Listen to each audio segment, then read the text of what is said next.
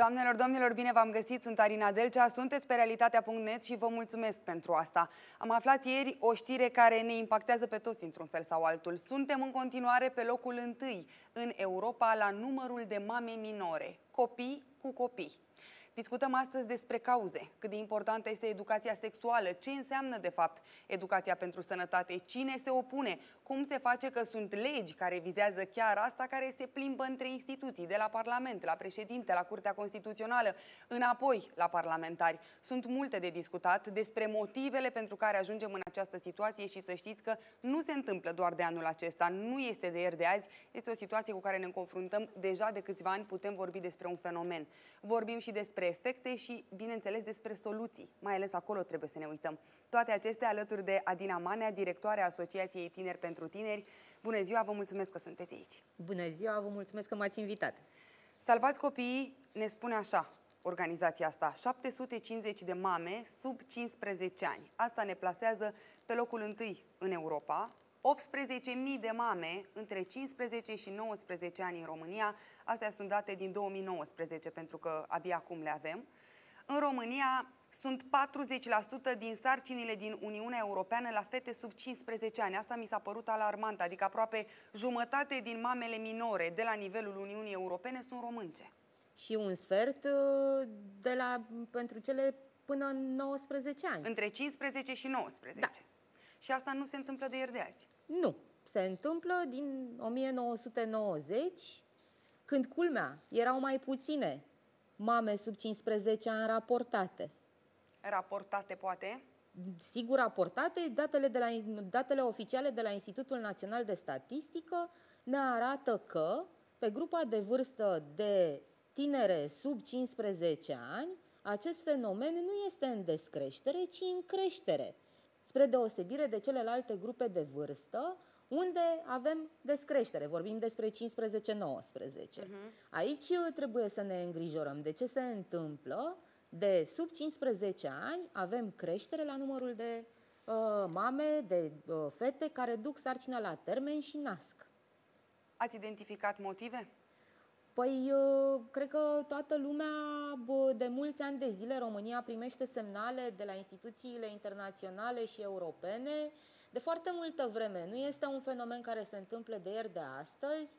Din anii 70 România era condamnată cumva sau în fine îi se atrăgea atenția asupra politicilor uh, demografice de sănătate și de asigurare a serviciilor uh, Uh, potrivite pentru sănătatea reproducerii și a sexualității.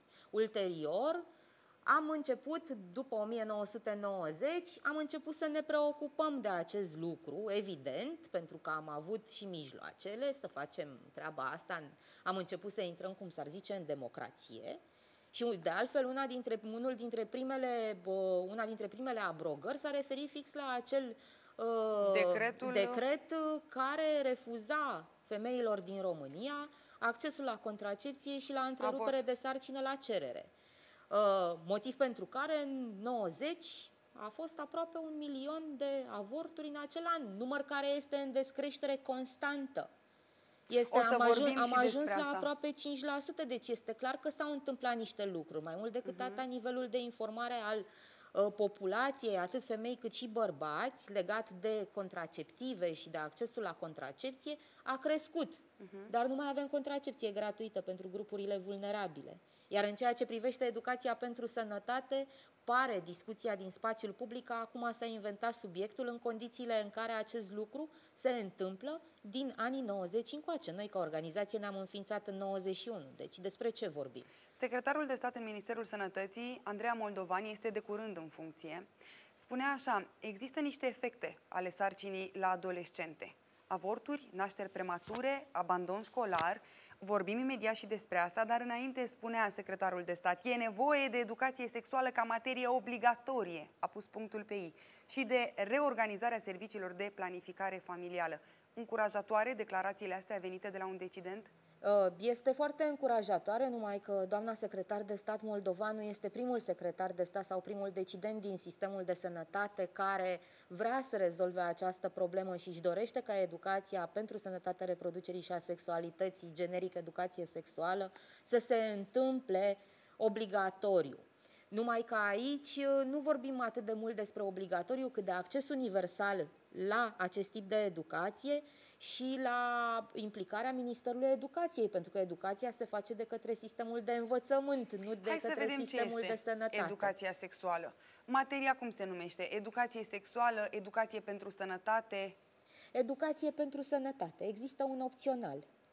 Există un program național care se numește Programul Național de Educație pentru Sănătate în Școala Românească, care aparține Ministerului Educației și care a fost lansat împreună cu Ministerul Sănătății în 2001, care a generat în 2004 după mulți ani de dezbateri, discuții, implicarea tuturor specialiștilor, experților din foarte multe domenii, de la protecția copilului până la psihologi, psihiatri, medici, de toate felurile, medici de familie, pediatri, deci tot ce se poate întâmpla, pedagogi, uh, educatori, tot, deci avem această programă aprobată prin Ordinul uh, Ministrului Educației în 2004 și care a generat ulterior opționalul de educație pentru sănătate, care Asta este o disciplină înseamnă? Fiecare opțională. școală decide dacă introduce da. materia asta. Da, fiecare școală cum se aleg opționalele. În Consiliul de Administrație, unde există Consiliul Profesoral, reprezentanței Consiliului Elevilor, ai, ai uh, asociațiilor de părinți, deci este o uh, decizie care se ia cu toți actorii implicați, părinți, elevi, profesori, să existe acest opțional pe care părinții evident își dau acordul. Pentru toate opționalele în general da. e nevoie de acordul părinților? Da. Da. Pentru că părinții oricum semnează un acord cu școala. Atunci când copilul este, copilul lor devine preșcolar elev, se semnează un acord, se semnează un, un acord cadru, un contract exact, cumva între exact, părinte în... și școală, da, probabil. Da, da, e, da. apoi, când discutăm poate de la an la an opționalele, din nou e nevoie de semnătura părintelui? Nu, vorbim despre reprezentanței părinților care există în consiliile de mhm. administrație uh-huh. la nivelul fiecarei și unități școlare. Acolo și acolo îi spun punctul de vedere, precum și elevii au această oportunitate și mai sunt implicați și factori de nivel local, de la nivelul comunității la care pot să participe și alți actori cu rol important în dezvoltarea comunității respective. Îmi amintesc, Adina, o discuție de acum câțiva ani, spunem tu dacă greșesc, erau locuri în care, ok, au acceptat până la urmă să facă educație pentru sănătate, dar nimic despre sexualitate nu era în programă. Uh, despre reproducere. Acum, uh, controlul asupra opționalului este dificil de realizat. El nu este o disciplină obligatorie, cum sunt cele din trunchiul comun. Este un opțional. Are o programă școlară într-adevăr aprobată prin ordin de ministru în 2004, care ar fi trebuit să fie actualizată ulterior pentru a trece pe noile metodologii care de elaborare a programelor școlare, Ministerul Educației na, are multă știință și multe proceduri la bază ca să poată să funcționeze. Este un sistem mamut, sunt peste 3, sunt în jur de 3 milioane de elevi care sunt preșcolari și elevi care sunt în acest sistem. Deci mare și atunci are nevoie de rigoare trebuia să se modifice programa școlară și s-a făcut în 2004 și să treacă de la nivelul de conținuturi, sper că nu e o discuție prea tehnică legată de educație. Nu, chiar te rog, sunt foarte curioasă. Uh, să treacă de la nivelul de conținuturi, cum era înainte, la competențe, pentru că vorbim de mai mulți ani de zile despre competențe care ar trebui să li se formeze preșcolarilor și elevilor și profile de, pe care aceștia ar trebui să le aibă la finalizarea Uh, studiilor, unui ciclu de învățământ. Pe de altă parte, datele care le sunt prezentate puținilor copii care au acces la astfel de educație sunt din 2004, îmi spui? Nu. Ele sunt actualizate Ele an de an, actuali... doar că vorbim de modul în care ne raportăm la scopul materiei. Exact. Să transmită cunoștințe sau să genereze competențe. Și care anume? Temele mari. Vorbim mm. despre temele mari și modalități de abordare a acestora. Programele școlare în general ele nu sunt manuale, ele sunt programe școlare, sunt documente cadru care sprijină cadrul didactic să își organizeze ulterior Deci copilul nu are o carte pe bancă la nu, ora asta. Nu, decât dacă acea carte, caiet de lucru sau manual pe care îl are cadrul didactic este elaborat prin alte tipuri de proiecte, investiții, pentru că sunt organizații care fac uh, educație pentru mediu, educație pentru o nutriție sănătoasă, educație pentru prevenirea accidentelor și abuzului, și educație poate pentru să fi prim făcut ajutor. un caietel cu informații... Educație în sănătatea reproducerii și a sexualității, cum uh, facem noi, dar care avem o abordare la tineri pentru tineri, dar care avem o abordare comprehensivă. Sănătate mentală este o altă tematică a acestui opțional. Opționalul are multe teme. Putem să vorbim, Adina, te rog, să-i lămurim și pe cei de acasă. Doamne, Da. ce învață copiii ăștia? La Păi ei pot, să opțional. vadă, ei pot să vadă, În funcție- oricine poate să vadă, Da. dând un simplu search pe Google, programă educație uh, pentru sănătate și o să intre pe vechiul uh, site al Ministerului Educației și o să găsească acolo programa școlară aprobată în 2004 prin ordin de ministru și acolo va vedea clar pe fiecare modul, pentru că ea este modulară, pornește clasa 1 cu a doua, a treia cu a patra, pentru Adina, că e chiar în funcție ieri de mi-ai nivelul de trimis dez- documentul ăsta și îți mulțumesc pentru el, o mulțime de informații mi-ai dat și aș vrea să le spunem celor de acasă. De pildă, în clasa 1 și a doua, copii de cât? 7-8 ani, Da. învață așa, temele generale ar fi eu și familia mea, Exact. roluri în familie, diferențele între băiat-fată, relații sociale. A treia cu a patra acum clasele. Percepții reciproce ale băieților și fetelor, modificări corporale la pubertate, cum am apărut eu pe lume. Clasa 5 a 6 a sentimentul de iubire față de cei apropiați și atașamentul față de familie. În fine, ajungem până la clasa a 12 să zicem, a 11 și a 12 când vorbim despre deja disfuncții sexuale la femeie și bărbat, diagnoza prenatală, identitate și orientare sexuală, legislație privitoare la sexualitate, pornografie și prostituție. Exact, pentru Cum că ei este- vor părăsi școala și este important, gradual, aceste informații să fie prezentate în funcție de nivelul de dezvoltare al copilului, înțelegere al unui copil la o anumită preadolescentului, vârstă. da, al preadolescentului și ulterior adolescentului. În clasele de uh, a șaptea, a opta, vorbim despre nivelul gimnazial, când vorbim despre adolescență, deja intrarea în adolescență, cu multe transformări la nivel uh, evident, întâi fizic și fiziologic și, ul- și be, asociate cu emoțional, relațional.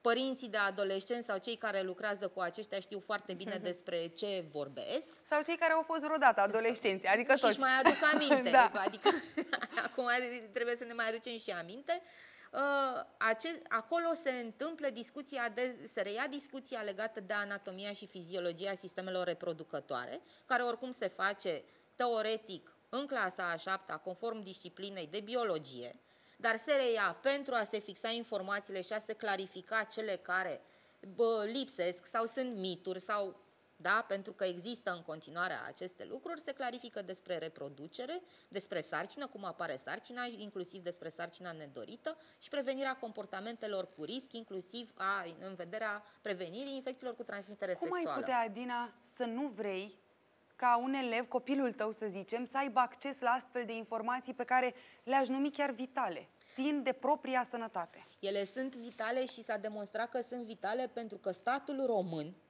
și cu toate instituțiile lui, plus societate civilă, în consultare cu părinții și cu toată lumea, la începutul anilor 2000 a făcut acest demers incredibil și anume Programul Național de Educație pentru Sănătate.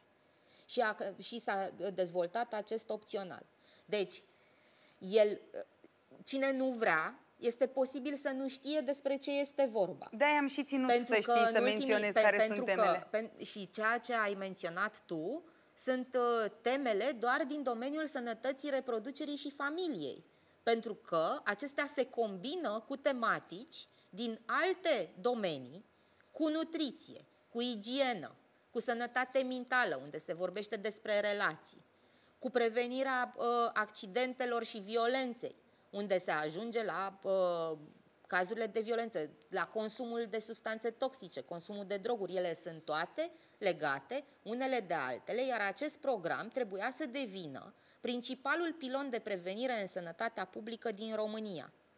Și lucrul acesta l-a făcut până la un moment dat, până am intrat, dacă vă puteți imagina, sau dacă îți poți imagina, în Uniunea Europeană, când interesul decidenților a scăzut, a fost o condiție prin, prin care noi am demonstrat comunității europene și celorlalte că putem, state că, că putem, că vrem, că, că știm, și după că ne-am descurcat convins... singur, am fost model de bună practică, am fost model de bună practică inclusiv pe intervențiile integrate pe care le-am avut în domeniul sănătății reproducerii și serviciilor pe care le adresam fetelor și femeilor din România. Dovada este că, de fapt, numărul de sarcini la adolescente de 15-19 ani este în scădere, s-a schimbat vârsta la care avem prima sarcină, avem în scădere numărul de întreruperi de sarcină la cerere și au scăzut indicatorii pe mortalitate maternă, mortalitate infantilă, uh, mortinatalitate.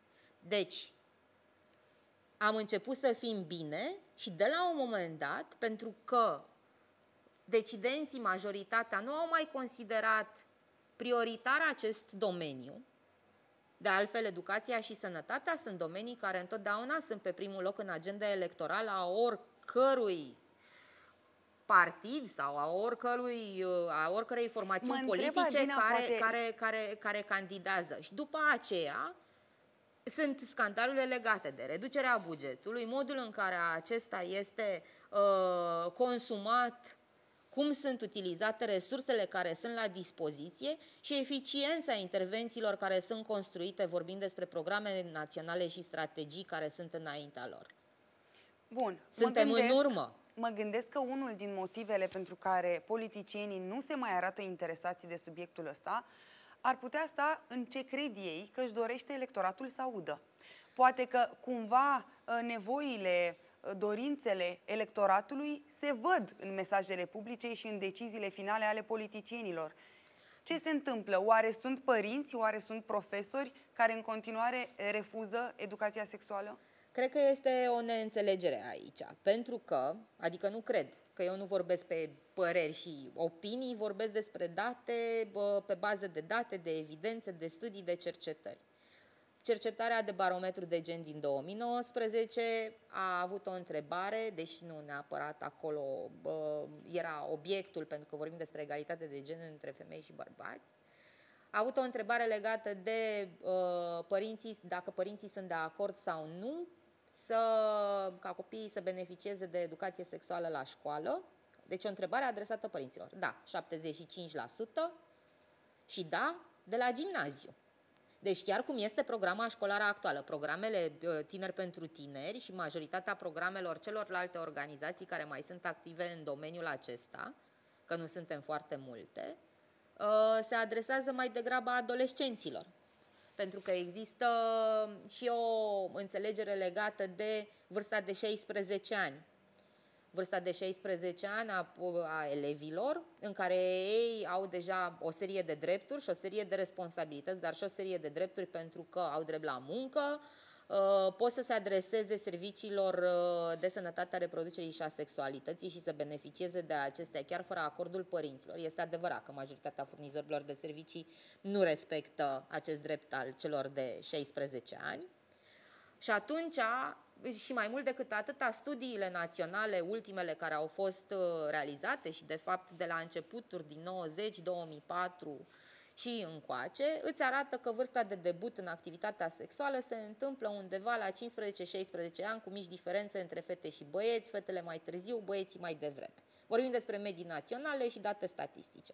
Deci atunci... Ok, deci nu înțeleg. Părinții, cam 70% din părinți, spui în 2019, 75, da. spuneau că își doresc da. ca copiii lor să aibă acces la educație sexuală, însă de la gimnaziu încolo. Asta e, de fapt, cheia? Da, numai că trebuie să se înțeleagă ce este educația sexuală, ce înseamnă educația în sănătatea reproducerii și a familiei. După cum a scrie și în programa școlară și ai prezentat audienței pe care o avem în momentul de față, la clasele mici, Vorbește despre noi în familie, diferențe între da. fete și băieți, relaționare, se duce mai mult pe componenta de emoțional și social. Poate se predau și valori acolo. Evident că se predau și valori, pentru că dacă mergem mai în profunzime pe ce înseamnă programa școlară, sunt niște repere metodologice destul de clare pentru cadrele didactice. Iar oricum, profesorii care predau sunt deja, na, predau, adică au făcut școală ca să ajungă să stea în fața elevilor. Iar cei care intră din afara școlii alături de cadrele didactice sau uh, în colaborare cu acestea, sunt tot persoane formate, instruite, iar școala se asigură de aceste lucruri prin metodologiile pe care le are la dispoziție, pentru că nimeni nu poate permite să vină cineva din exterior, așa cum este prezentat din când în când în spațiu public și să vorbească elevilor despre ce consideră că este potrivit. Acel potrivit trebuie să fie în acord cu rigorile școlii și rigorile programelor școlare și rigorile mai ales ale obiectivelor educaționale pe care ni le propunem pentru elevi, pentru deci, până la urmă, cine vine în fața copiilor? Vine un educator, poate să vină un profesor de la o altă materie care s-a specializat și pe asta între timp? Ă, dacă vorbim despre opțional, acesta este încadrat în aria de matematică și științe și pot să fie profesor de biologie, fizică, chimie, matematică, zona, chimie, da, chimie am zis, deci zona aceasta. Mai sunt conținuturi care sunt introduse în ă, programa școlară de consiliere și dezvoltare personală, cea modificată acum de curând pentru gimnaziu 2000 de curând. Adică anul acesta intră clasa a 8 -a în vigoare Trun, plan, uh, planul trunchiul, trunchiul comun pentru liceu este încă în dezbatere, nu este finalizat și se amână Ministerul Educației a dat semnale în acest sens și ulterior aprobării uh, trunchiului comun pentru liceu vom ajunge să avem și programe școlare pentru liceu și vom vedea acolo uh, dacă educația pentru sănătate are loc sau nu. Foarte important să aud de cei de acasă. Copiii ar fi instruiți de oameni specializați, oameni care oameni au învățat... pregătiți. Oameni pregătiți. Vorbim despre faptul că... Deci, opționalul este al sistemului de învățământ predau cadre didactice, care pot să aibă invitați, de fapt și programa școlară face această recomandare, pot să aibă invitați sau parteneriate cu specialiști experți din alte domenii pe care nu le stăpânesc suficient sau persoane care sunt mai pregătite, uh-huh să, și știu, cum să, facă, și știu cum să facă acest lucru. Dovada este că la nivelul unităților școlare care au acest opțional sunt parteneriate nu numai cu organizații neguvernamentale, dar și cu o serie de alte instituții publice, de la pompieri, Inspectoratul pentru Situații de Urgență, ă, zona de mediu, de protecția consumatorilor, pe, pentru că vorbim și despre uh, cum consumăm, ce consumăm, îmi de, spuneai, despre de, de toate. Îmi spunea Dina mai devreme că sunt destui părinți care totuși ar vrea ca da, experiența copiilor noastră... să aibă cunoștințe în domeniul ăsta. Mă întreb oare ce spun ceilalți. Din datele pe care le ai tu, cei care spun nu, de ce? Ce invocă? Acum, motivele pe care le invocă sunt foarte multe. Este un discurs care, bă, discursul de afectează sau strică inocența și puritatea copiilor noștri este un discurs care nu se regăsește doar în România, se regăsește la nivelul Asta regiunii. Asta că e excuzabil. Nu este, da, Tradiție, în caz, religie în zona aia? Tradiția și religia nu au foarte mare legătură. Biserica a fost parteneră cu statul român până la un moment dat în programele de prevenire a violenței de gen, a prevenirii uh, infecțiilor urtanitele sexuale și HIV, deci a prevenirii poate. consumului de droguri.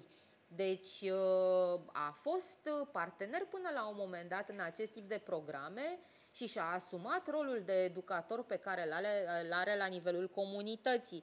Deci uh, tradiții, credințe, religii Uh, da, oricum, oricum ei au posibilitatea de a nu participa, de a nu fi de acord cu acest opțional și aia e, nu o să Știți li se întâmple și copilul merge în altă parte. O discuție cu o prietenă, îi spunea bunica ei, era adolescentă fata, 16-17 ani, uh, mamaie, tu trebuie să-ți începi viața sexuală atunci când te măriți.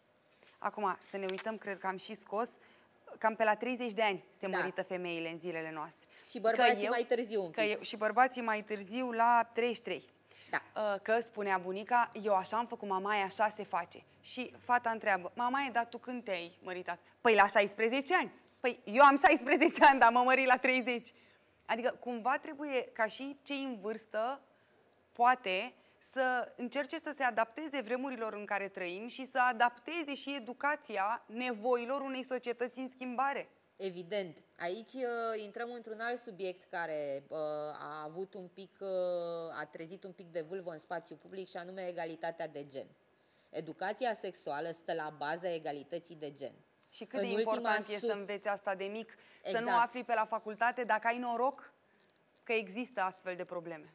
Mai mult decât atâta, nu trebuie să uităm că noi acum ne simțim liberi, puternici și noi două, suntem două, stăm de vorbă, fiecare în poziția pe care o are și demonstrând uh, că avem o educație, că știm să facem niște lucruri. Ne putem simți privilegiate cumva. Uh, în afară Chiar. de faptul că încă ne putem, din păcate încă ne putem simți privilegiate pentru că nu suntem acolo unde trebuie ca țară în niciun caz și nici ca fenomen uh, la nivel de Uniune Europeană. Declarația este că ne mai trebuie încă câțiva zeci de ani ca să ajungem acolo unde trebuie, iar la nivel de România, care este și aici în jos, și mai mult decât atâta. Abia în ultima sută de ani am obținut drept, femeile au obținut dreptul de la educație, la vot și la proprietate. Da. Nu trebuie să uităm aceste lucruri da. și nu trebuie să uităm că este important ca în continuare să existe responsabilitate egală și în domeniul sănătății reproducerii și a sexualității și nu doar femeile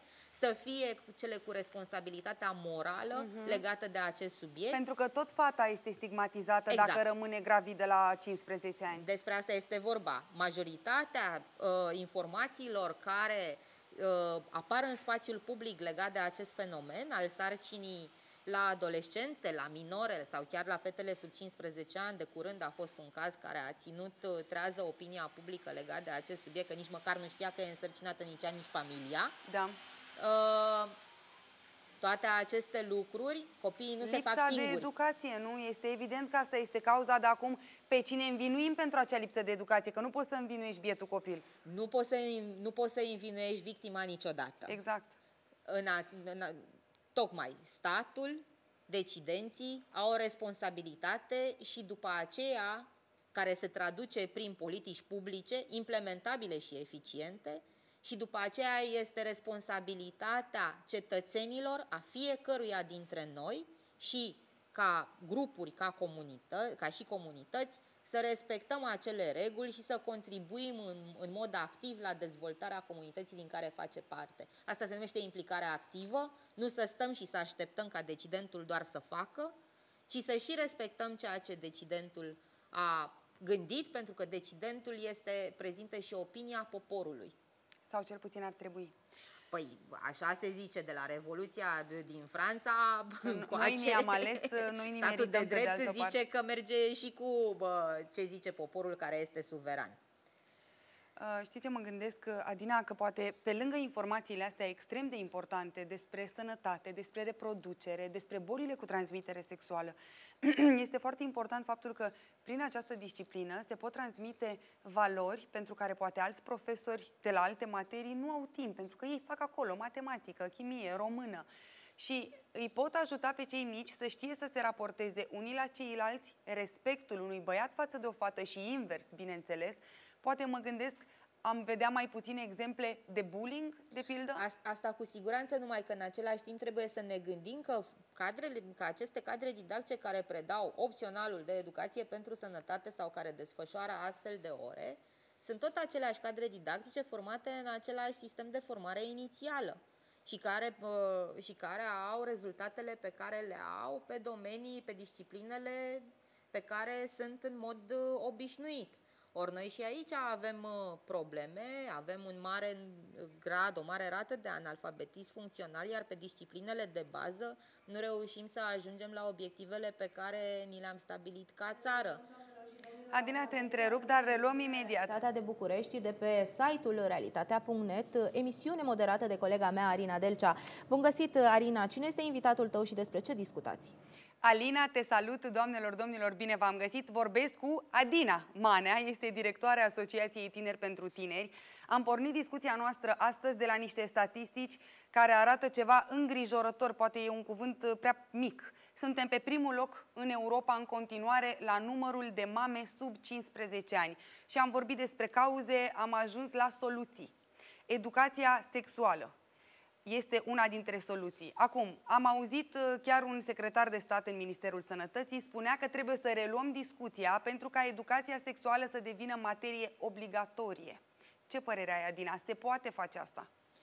În acest moment este imposibil să devină materie obligatorie, conform rigorilor Sistemului Național de Învățământ, dar se poate uh, lucra pentru a se asigura accesul universal la opționalul de educație pentru sănătate sau la intervenții în educație pentru sănătate realizate la nivel extrașcolar deci și extracurricular. Deci este imposibil. Dacă ar fi bine să universalizăm accesul, înseamnă că se poate. Uh, se va putea la un moment dat, uh, după ce o să finalizăm cu reforma în sistemul de învățământ pentru a introduce o disciplină obligatorie, înseamnă că acea disciplină trebuie să intre în formarea inițială a cadrelor didactice, adică înainte ca acestea să intre în sistemul de învățământ, adică să fie predată din facultate. Adică ce ne spui acum este că dacă și... astăzi se ia decizia, gata, introducem educația sexuală ca disciplină obligatorie, mai așteptăm câțiva ani să introducem facultate pentru profesori da. și abia în câțiva ani am putea vedea efectele la clasă. Și mai mult decât atâta, termenul de obligatoriu nu este un termen potrivit pentru o, bă, pentru o disciplină care, formea, care nu doar că furnizează cunoștințe sau clarifică informațiile incorrecte, ci mai formează și atitudini și abilități care corespund unui stil de viață sănătos. Ori câtă vreme ă, noi avem probleme reale în școală, pe analfabetism funcțional, pe ceea ce reușim să obținem ca rezultate la, uh, cercet, la studiile internaționale și europene, PISA și tot ce, la tot ce participăm. Și, arat, și toate acestea arată că nu suntem bine acolo unde suntem, nu avem cum să avem pretenția că dacă pe disciplinele obligatorii nu avem performanță, vom reuși pe o chestie care este atât de sensibilă și necesită atât de multă formare, pentru că, repet, atitudini, abilități, aici etică sunt lucruri uh, importante, uh, cum să ajungem să fie obligatoriu? În acest moment vorbim Accesul despre un universal opțional. este mai, mult mai potrivit. Vorbim despre un opțional. Da. Acces universal s-ar asigura în condițiile în care opționalul ăsta ar fi ales de cât mai multe școli, de toate dacă s-ar putea. Da, ar exista, ar fi ideal ca decidentul, Ministerul Educației, să facă o recomandare pentru introducerea acestui opțional la nivelul tuturor unităților de învățământ, măcar o dată pe ciclu de învățământ, în concordanță cu nivelul de dezvoltare al uh, preșcolarilor și elevilor, pentru că nu ai nevoie să faci 12 ani de educație pentru sănătate. Dar odată în perioada copilăriei, odată în perioada pubertății și odată în perioada adolescenței, este ar fi necesar. Ar fi necesar Pentru telespectatorii Realitatea Plus de, care ne luăm la, de la care ne luăm la revedere imediat, câți copii în acest moment beneficiază de educație pentru sănătate? Puțin peste 100 de mii? Cam așa. În jur de 4, 5, 6% pe an școlar din întreaga populație școlară de preuniversitar. Deci acest lucru se traduce în cifre 120 până într 150 de mii anual. Adina, rămânem aici în platoul de la Realitatea.net și ne continuăm discuția. Multe, multe lucruri interesante avem de vorbit, doamnelor și domnilor. Alina, mă întorc la tine acum. Alina, te urmărim, doamnelor și domnilor. Alina, Arina, Adina, da. așa ne-am găsit astăzi. Bine, uh, cât de mulți bani ar fi necesari pentru uh, accesul ăsta universal, să zicem, pentru că e greu să fie obligatoriu și poate chiar și pentru etapa următoare, obligativitate. Pentru că te-am auzit mai devreme, Adina, spuneai că vorbim când se fac bugetele că nu ne ajung banii, chiar acum se dezbate bugetul anului exact. în Parlament, deci este o discuție actuală. Cere foarte mulți bani domeniul ăsta? Uh, chiar dacă poate inițial să fie, poate părea o investiție măricică, vorbim, de fapt nu este mare. La nivelul, la nivelul efectelor benefice pe care ar putea să le aibă ulterior, majoritatea e infimă, dacă... este, este infimă. De altfel, sunt studii care demonstrează că investiția în prevenire ar trebui să fie în jur de 10% din investiția în costurile curative de tratament și uh-huh. de mhm. control al infecțiilor, al bolilor, programul de educație pentru sănătate și opționalul aferent, repet, a fost gândit și construit ca primul pilon în prevenirea în sănătatea publică și care acoperă inclusiv componenta emoțională și sănătate mentală și relații și toate lucrurile acestea. Deci, uh, eu știu cât au uh, necesitat proiectele în care noi am fost implicați alături de Ministerul Educației istoric de-a lungul vremurilor, și vremii din 2004 încoace. Vorbim despre proiecte a căror valoare, într-adevăr, a fost de milioane de euro pe mulți ani de zile, pe 5 ani de zile, dar care au ajuns la rezultatele pe care le vedem acum și la sustenabilitatea acestui program în care nu se mai investește de multă vreme decât Ministerul Educației plata cadrelor didactice care desfășoară orele și în rest organizațiile neguvernamentale, fiecare ce reușește uh-huh. să mai construiască noi instrumente educaționale și noi programe de formare pentru Auzim profesori. pe de o parte de la Ministerul Sănătății, domne, hai să mai vorbim puțin despre educație sexuală, că e important. De cealaltă parte vedem că parlamentarii s-au gândit ei că ar fi bine să fie expres acordul părinților pentru ca cei mici să învețe educație sexuală. Legea a fost adoptată de Parlament, s-a dus la președinte, președintele parcă a atacat-o la curte, curtea a zis că e ok și a ajuns înapoi în Parlament pentru că președintele a mai făcut o încercare, a cerut uh, reexaminarea ei. Da. Ce se întâmplă acolo? Ce e cu hățișul ăsta legislativ? Nu este niciun hățiș legislativ, este vorba despre Legea Protecției și Promovării Drepturilor Copilului, aprobată în 2004, care a fost făcută de către România pentru că avea niște responsabilități legate de dezinstituționare și procesul de adopții. Această lege a fost uh, propusă spre modificare fix de către guvern, fix de către executiv, acum câțiva ani, pentru că trebuie într-adevăr să se finalizeze cu procesul de dezinstituționalizare și renunțarea la centrele de copii, mamut, da. Da, este Alt ceva... E, Sper că într-o dată viitoare și putem discuta dintre, și despre asta. La ultima ședință din cadrul Comisiei de Muncă de la Camera Deputaților, niște unii parlamentari s-au dus și au zis nu, noi vrem din sexuală în sanitară și, din, uh, și vrem acordul obligatoriu al părinților. Realizând astfel o întoarcere a uh, politicii publice din România înainte de uh, anii 90, pentru că termenul de educație sanitară nu mai este utilizat în sănătate publică de foarte multă vreme, de prin anii 70, vorbim despre bă, educație pentru sănătate și promovarea sănătății, sunt niște diferențe majore, educația sanitară se referă preponderent la igienă și cam atât, prevenirea îmbolnăvirilor, controlul medicamentelor și cam deci asta am făcut este. pași în spate da, prin pași în spate, asta. iar acordul părinților cu siguranță cei care au propus această modificare nu cunosc uh, în totalitate reglementările prin care se realizează procesul păi, educațional. Asta e, că mi și spus că părinții da. oricum trebuie să accepte. Da, da, da.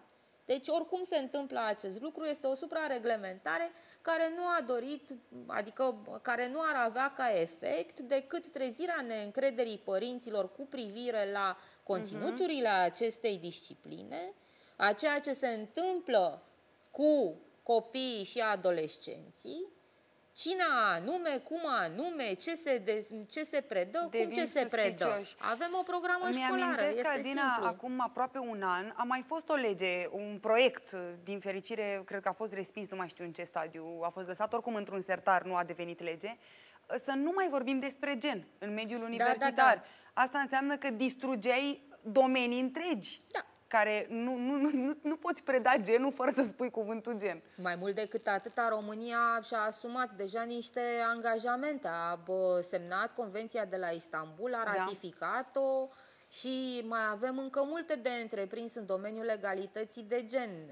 Acestea sunt, nu știu, furtuni într-un pahar cu apă și de, care doar îi alimentează pe cei care oricum poate erau nehotărâți da, cu da, privire la ce înseamnă asta? Da, da, da, da.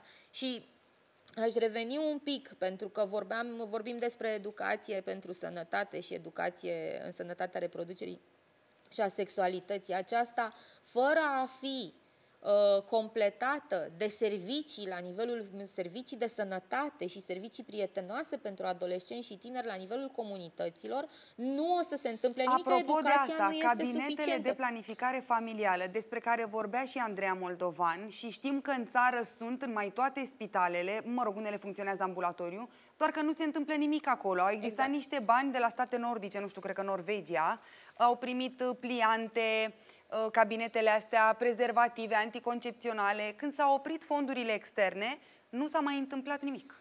Și asta în condițiile în care, repet, devenisem la un moment dat model de bună practică pentru regiune, pentru modul în care am reușit să rezolvăm asta. Cu rețea de asistență medicală comunitară, cu rețea de mediatori sanitari care ajungeau în cele mai izolate comunități Dar rurale. de ce oare statul nu vrea să dea bani către aceste cabinete pentru, pentru a le furniza materialele necesare să facă educație sexuală, măcar așa dacă prin școală nu se poate. Deci nu vorbim, nu vorbim doar despre uh, cum, cum se întâmplă în cabinete. Cabinete, în cabinetele medicale sunt medici care au de făcut consiliere pentru planificare familială și consiliere de cuplu și ce mai, mai este de făcut. Consilierea pentru planificare familială intră în pachetul de bază de servicii pe care populația îl are la dispoziție, Uh, numai că nu există, fiind în pachetul de bază și ne, existând o stimulare suplimentară pentru medici să facă această consiliere, ea nu ajunge să fie făcută. Să mai vorbim despre rețeaua de medicină de familie și cât de puțin sunt în continuare în anumite zone și cât de supraaglomerați sunt anumiți medici în alte zone și că nu au timp, de fapt, să-și monitorizeze, să-și evalueze starea de sănătate a pacienților pe care îi au. Bun, Cum văzut? să vorbească Avem 20 de minute în pe, școli, pe fe? Referitoare la educarea copiilor pentru sănătate și pentru reproducere și evitarea bolilor cu transmitere sexuală. Și Doamne, pentru și câte relaționare, și, mai câte. și pentru emoții, relaționare, și pentru da. cum să Bun, devină deci părinți în școală când vor nu dori, prea dacă ne vor este. dori. Vedem că prin cabinetele de planificare familială nici așa nu prea ne este. Cum ajung copiii să afle ce este sexul, cum apare un copil pe lume, care sunt riscurile, de unde? De la prieteni, internet, familie, de unde? De peste tot de unde pot. Uh, studiile arată că, na, prieteni, internet, mai puțin familie, mai puțin școală și mai tabu, puțin medici. subiecte tabu în continuare în multe familii? Mm, probabil uh, că da, dar oricum la vârsta adolescenței, când uh, viitorul tânăr începe să devină autonom independent, se îndreaptă întotdeauna mai mult către cercul de prieteni și de covârșnici, de persoane uh-huh. de mhm. vârstă similară cu care împărtășește interese comune și, poate și cu care are impresia că se înțelege. Poate împărtășește și informații inexacte pentru Evident, că sunt pentru, cine știe unde luate. Pentru noi este șocant că și acum întâlnim mituri legate de sănătatea reproducerii și a sexualității pe care le întâlneam acum 20 de ani. Nu este foarte, posibil foarte acest lucru spui. pentru că și internetul, pentru a utiliza internetul așa cum trebuie, trebuie să ai niște abilități și gândire critică și să știi cum anume ce să cauți, cum să cauți și cum să sortezi informația reală și relevantă uh-huh. față de informația falsă sau, informa- sau non-informație, doar divertisment. Și atunci, oricum ei ajung să caute despre aceste subiecte atunci când întâmpină o problemă, mm-hmm. nu mhm. preventiv. Pentru că preventiv Firește, ce să previn pe, dacă nu... Exact, este pe principiul oricum e, nu o să mi se întâmple. Și asta este... Dar apoi mai e o problemă, că nu știi că ai ceva de prevenit dacă n-ai niciun fel de informație. Exact, exact. Abia atunci când se confruntă cu o problemă, abia atunci încep să caute. Și apoi, și la 13 ani, să zicem, n-ai mai avut niciodată 13 ani, când ai 13 exact. ani. Adică exact. n-ai de unde să știi lucruri despre tine, despre ceilalți, despre ce ți se poate întâmpla în funcție de acțiunile pe care le faci. Da. Atât de multe lucruri care ar putea fi învățate exact. prin ore de educație sexuală în școli. Da, da, da. Unde ne îndreptăm? Ne îndreptăm către ce o să reușim să construim împreună, pentru că este... Da, ți se pare că cineva se preocupă de construcția asta? Eu am încredere în decidenții actuali și în noua legislatură că va lua decizii potrivite față de, nu față de vechea legislatură, ci față de ultimele modificări sau ultimele inițiative care au fost uh, introduse pe subiectul acesta. Și că va exista o schimbare în discursul public legat de, uh, legată de educația pentru sănătate, mai ales că ne confruntăm, astăzi se face un an de când a fost depistat primul caz cu uh, da. SARS-CoV-2 în România. Deci, contextul pandemic care a fost și este în continuare o criză majoră de sănătate publică la nivel nu doar național, ci la nivel global, ar trebui să lumineze, ca să zic așa, gândirea și deciziile decidenților nu doar din România, tuturor, mie, mie legat de subiectul bine, acesta. Mie mi-e teamă că mai cu seamă se întâmplă invers. Acum ne uităm la COVID-19, vai, asta este marea noastră problemă și educația sexuală ni se pare un eu, eu sunt sigură că sunt foarte mulți oameni, din, uh, atât din educație cât și din sănătate, de fapt mai degrabă din sănătate, din sănătate publică și din promovarea sănătății, care își cunosc bine comunitățile în care lucrau și care tocmai nu au avut resurse, nu au avut oameni, structuri de resurse umane insuficiente, îmbătrânite, rău, acum să uh, ceară, uite unde suntem, dacă avem educație pentru sănătate implementată din 2004 în creștere și nu în stagnare sau în descreștere, cum se întâmplă acum, din 2004 până acum sunt deja am trecut de 10 Erau ani, atâtea, am trecut 5. Atâtea generații salvate. Da, atâtea generații care acum ar fi fost tineri și adulți și care n-ar fi avut nevoie de atâtea videoclipuri de cum să învățăm să ne spălăm pe mâini și să purtăm masca. Ar fi știut deja toate aceste lucruri poate și poate ar fi, ar fi învățat părinții. Și ar fi învățat părinții și Uh, mai mult decât atâta, poate am fi trecut sau am fi fost mai solidari unii cu alții și am fi trecut mai bine peste ceea ce ni se întâmplă de un an încoace, inclusiv din perspectivă emoțională de sănătate mentală și de cum ne dezvoltăm capacitatea de reziliență la uh, Adina, planificam pandemie. să închei discuția noastră aici, dar aș mai vrea să te întreb ceva. Mi-am aruncat ochii pe niște cifre acum și mi-am amintit. Vedem că vârsta medie pentru o sarcină a crescut, de fapt. 27,6 ani. De cealaltă parte, noi suntem în continuare în topul european când vine vorba de mame minore. Parcă e o contradicție aici. Păi asta zic, că suntem într-un paradox. Pe de o parte, uh, comportamentul reproductiv al femeii din România urmează modelul unei societăți moderne, civilizate, vestice, cum este în vestul Europei, ca să Vorbim zic așa. Vorbim de femei mature, nu adulți, da. care decid să facă exact. mai târziu copii. Exact. Da? Vorbim despre planificarea sarcinii, a care se întâmplă după ce îți finalizezi studiile, după ce ai posibilitățile materiale, emoționale mm-hmm. să crești copilul de după ce ai un partener sau nu, sau în fine fiecare. Dar ideea este că vârsta medie pentru prima naștere este în creștere în România și dacă ne uităm longitudinal așa, ă, se face trecerea de la vârstele mai mici către vârstele mai mari. Deja sunt din ce în ce mai multe femei care aleg să aibă un copil după 30 de ani, chiar după 35 de ani.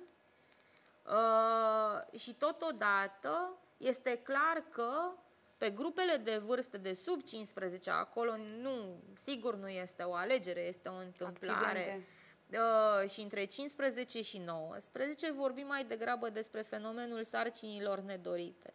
Păi și cum ne explicăm că o parte a societății trăiește după niște principii și o altă parte după cu totul altele? Noi nu suntem nu, nu suntem. Că nu cu toții sunt, așa? Nu, nu suntem cu toții așa, suntem foarte diferiți. În același timp, sarcina nedorită, violența domestică, infecțiile cu transmitere sexuale, nu aleg unde să se ducă mm-hmm. pe un anumit profil. Se întâmplă oriunde, indiferent de nivelul de educație socioeconomic, de orice. Lucrurile acestea se rezolvă într-adevăr, pe de o parte prin educație care se face sistematic și despre care toate cercetările și toate studiile și instituții europene și internaționale la care ne raportăm și către care raportăm diversi indicatori de diverse tipuri, zic că să se facă de timpuriu. Au dat României multe recomandări și tot dau dar noi dacă sunt doar recomandări, le luăm în seamă mai păi puțin. da, dar statul român obligați. trebuie să demonstreze că este suficient de matur astfel încât să și pună în aplicare acele recomandări de care la un moment dat s-a și ocupat și după aceea le-a lăsat deoparte. Mai avem doar două minuțele, Adina. Ce face Asociația Tineri pentru Tineri și poate altele de profil? Păi dacă statul doarme. Noi încercăm să suplinim și nu doar, de fapt nu să suplinim, mai degrabă să sprijinim școlile să își implementeze cu mai mare eficiență programele pe care le au. Venim în sprijinul statului, de fapt, și îl ajutăm, ajutăm decidenții în construirea politicilor publice, strategiilor cu experiența noastră din teren, de lucru cu beneficiarii direct la firul ierbii. Sprijinim oamenii din comunități, vorbim despre cadre didactice, vorbim despre diriginți, alții zona de asistență socială, alții zona chiar de uh, asistență medicală și medici, că suntem mai mulți care lucrăm în mai multe, cu mai mhm. multe grupuri țintă. Noi suntem la Tineri pentru Tinere, suntem pe zona de tineret, de educație, de voluntariat, ce și lucruri cu un pic minunate de sănătate. faceți, Adina, felicitări și dacă printre cei care ne urmăresc sunt și oameni care chiar vor să facă voluntariat, că tot vorbeam de valori și poate după un an cu COVID-19 împlinit astăzi, ne-am schimbat un pic prioritățile și ne dăm seama că poate ne înalță să ajutăm. Uh, da, în online acum. Noi acum facem, noi ca organizație, în, online, în acest iată. moment, deci am ce interesat să caute pe internet tineri pentru tineri și cu toții, sigur, sigur, putem să facem o schimbare. Adina, îți mulțumesc că ai fost astăzi în studioul de la Realitatea.net. Doamnelor, domnilor, ne oprim aici. Eu sunt Arina Delcea. Vă mulțumesc pentru atenție. Pe curând!